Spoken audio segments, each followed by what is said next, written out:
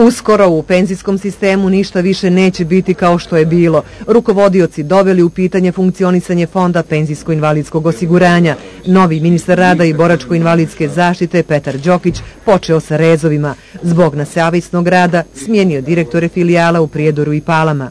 Očekujem da svako od e, ljudi u sistemu i oni koji nose uloge najodgovornijih u sistemu od direktora do nižih nivoa rade najsavjesniji, najodgovorniji svoj posao i da ga radu skladu sa zakonom.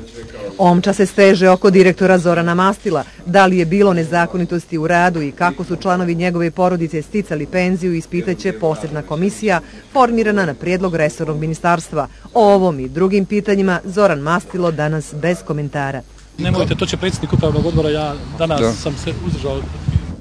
Zoran Mastilo biće suzdržan po svemu sudeći sve do komisija ne provede istragu gospodin Mastilo kao direktor fonda u mandatu koji mu traje ostaće na toj dužnosti uz naravno e, pretpostavku da sve bude u redu. Ukoliko bude bilo kako kršenje zakona, ćemo se s tim suočiti i naravno e, donijeti one odluke koje se u takvim slučajima donose.